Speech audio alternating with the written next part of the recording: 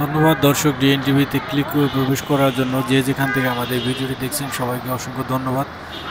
তো দর্শক, ঈদের পরবর্তী ছুটিতে সবাই যখন বাড়ি ফিরতেছে, আমরা চলে আসি তখন রাজধানী বিজয় সরণী মোড়ে। আপনাদের এই মুহূর্তে বিজয় সরণী মোড়ে যে জ্যামের পরিস্থিতি সেটা দেখানোর চেষ্টা করব। এই মুহূর্তে রাস্তা কিছুটা ফাঁকা রয়েছে। বিভিন্ন জায়গা থেকে নতুন নতুন গাড়ি চলাচল শুরু হয়েছে এবং এইখানকার যে রাস্তাঘাটের যে পরিস্থিতি, স্বাভাবিক দিনের চেয়ে কিছুটা হলো রাস্তায় এই মুহূর্তে ফাঁকা আছে। আপনার মহাখালীর দিকে রাস্তাটা কিছুটা জ্যাম আছে এবং ফার্মগেটের রাস্তার দিকে কিছুটা জ্যাম আছে।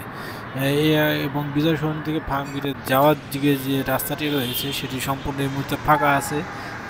তো আপনার এইখানে যে একটা সমস্যার সৃষ্টি হয়েছে আপনারা দেখতে পাচ্ছেন, সেটা হচ্ছে বিজয় সরণি থেকে ফার্মগেট যাওয়ার দিকে এখানে একটা ময়লা গাড়ি রাখা আছে, যে কারণে এইখানকার গাড়িগুলো সঠিকভাবে যেতে পারতেছে না এবং এই কারণে এখানে কিছুটা জ্যাম রয়েছে।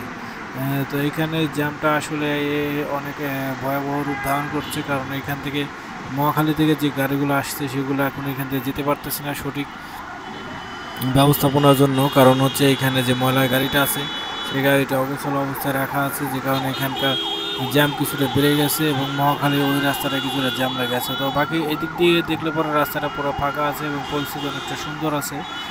তো আপনারা চাইলে এখন এদিক দিয়ে যাতায়াত করতে পারেন। তো এখন পর্যন্ত, এবং আজকে পর্যন্ত রাস্তাঘাট মোটামুটি ফাঁকা আছে, তো আশা করা যায় আগামীকাল সরকারি ছুটি পুরোপুরি শেষ হয়ে যাবে এবং বিভিন্ন বেসরকারি অফিসগুলো যেগুলো আছে সেগুলো শুরু হবে। তো দেখা যাবে যে রাস্তায় অনেক টাইম লেগে যাবে। তো আজকে চাইলে যে কোনো কেউ ঘোরাফেরা করতে পারেন, রাস্তাঘাটের পরিস্থিতি স্বাভাবিক আছে। এখন পর্যন্ত অনেক বড় জ্যাম এখনও তৈরি হয়নি। যতটুকু জ্যাম আছে তাতে জীবনযাত্রা স্বাভাবিক থাকে। ধন্যবাদ আমাদের সাথে থাকার জন্য। দেখবেন পরবর্তী ভিডিওতে।